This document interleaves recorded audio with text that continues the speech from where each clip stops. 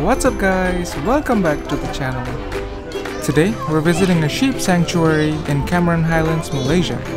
I'll put a link to the location in the description below. Today we'll be getting up close and personal and learning a little bit about these gentle creatures. If you're a fan of fluffy animals, then you're in for a treat. Let's go!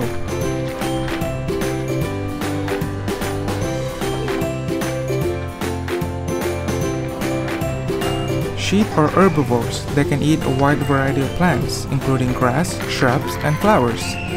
Unless it's a human flesh-eating carnivorous sheep. Nah, just kidding. Sheep are gentle and docile creatures.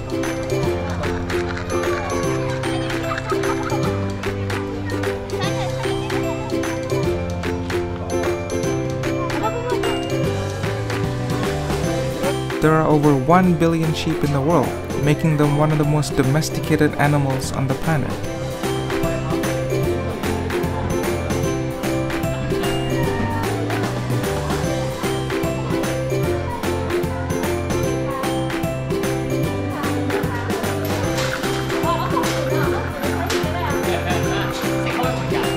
Sheep have a field of vision of around 300 degrees, which allows them to see behind themselves without turning their heads.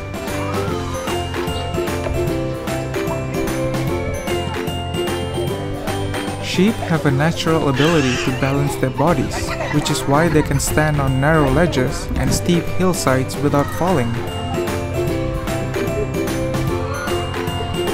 Thanks for watching. We hope you enjoyed learning a little about sheep.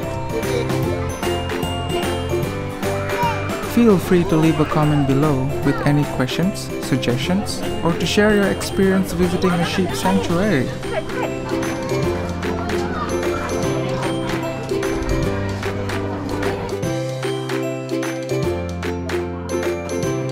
Thanks again for watching and we'll see you in the next one.